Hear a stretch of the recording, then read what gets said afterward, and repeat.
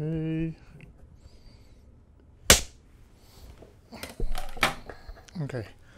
Uh, ladies and gentlemen, it's how to choose a model for film and photography.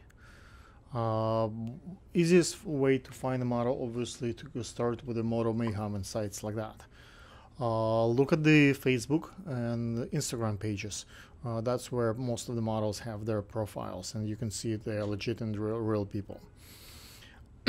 see if you have any common friends who can do it uh, for, for you an introduction and who are legit and uh, um, who make sure that she's also real.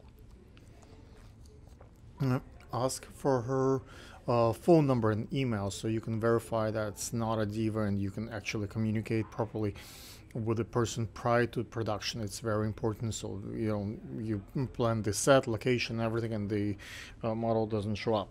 That not might not be good.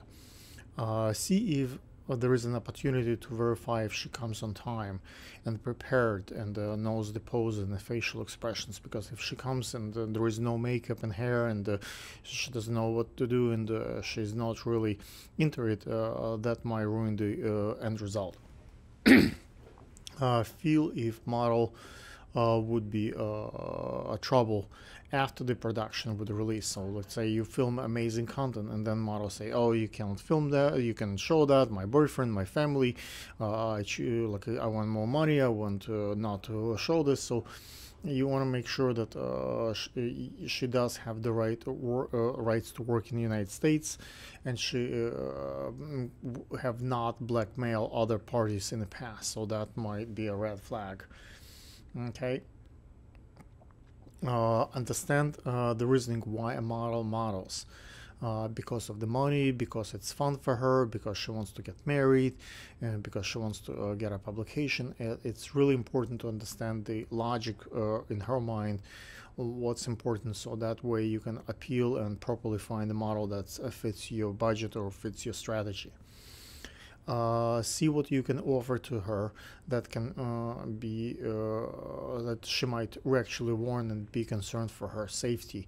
Uh, maybe uh, a famous studio escort for with her, transportation to and from the set, food and drinks at the set. So those things. If the person is hungry and feel that you have a great food at the set, they might come and even small things like that might make a difference. Um, if there is a guarantee publication, that's also makes a big difference uh, with the model. Usually, girls don't want to waste their time. If there is a, a definite publication out of it coming, then uh, there is a big chance that uh, many girls and the proper ones will say yes, and you can get a proper talent. Uh, do you have a backup replacement for her? What if she gets sick or doesn't come or some kind of emergency appear, which uh, often happens with models. So you want to make sure that uh, you have a backup uh, uh, talent. If she uh, uh, comfortable with the wardrobe, uh, because uh, you know, what if she doesn't want to wear what you envision or makeup and, and hairstyle that you provide or not provide? So make sure that mm, those things are kind of covered. Uh, what are, are, the backup options that you have all those things uh, makes a difference when you uh, uh, choose a model uh, for filming and photography. Hopefully that has been a little bit useful for you and if you have suggestions or advice please comment advi and like and follow my production and I'll be grateful.